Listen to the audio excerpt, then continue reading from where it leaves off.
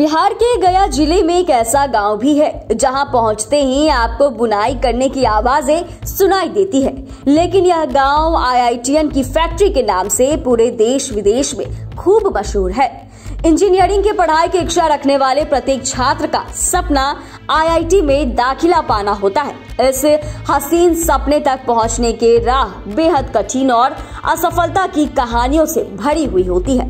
लेकिन बिहार में ऐसा गाँव है जहाँ से पिछले 25 साल में 300 से अधिक इंजीनियर निकल चुके हैं।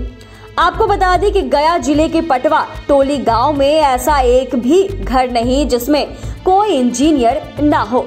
आप इस बात को सोच सकते हैं कि घर घर में इंजीनियर इस छोटे से गाँव से हर साल दर्जनों भर से भी कई गुना अधिक छात्र आईआईटी में दाखिला लेते हैं।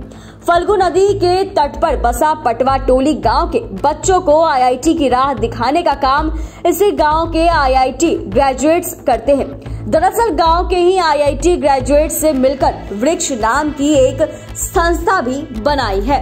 इस संस्था के माध्यम से बच्चों को फ्री में जेई मेन परीक्षा की कोचिंग दी जाती है। वृक्ष संस्था साल 2013 से यह काम कर रही है। इसकी फंडिंग आईआईटी ग्रेजुएट्स ही करते हैं। यह संस्था बच्चों को इंजीनियरिंग की किताबें उपलब्ध भी कराती है।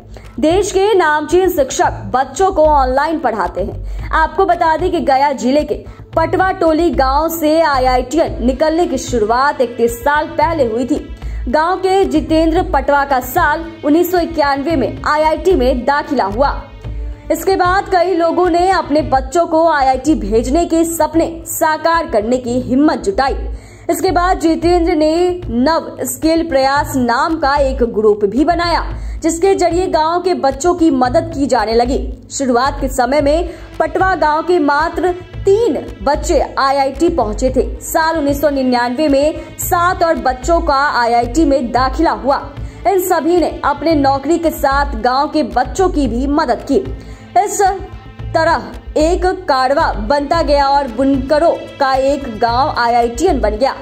पटवा गाँव की अपनी एक और पहचान कपड़ा बुनाई है। इस गाँव में प्रवेश करते ही आपको बुनाई की खटपट सुनाई देगी। इस गाँव को बिहार का मैनचेस्टर भी कहा जाता है। इस गाँव की अधिकतम आबादी पटवा जाति के लोगों की है।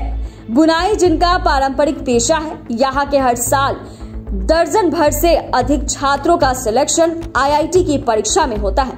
खास बात तो यह है कि यहाँ रहने वाले छात्रों को तैयारी निशुल्क में कराई जाती है।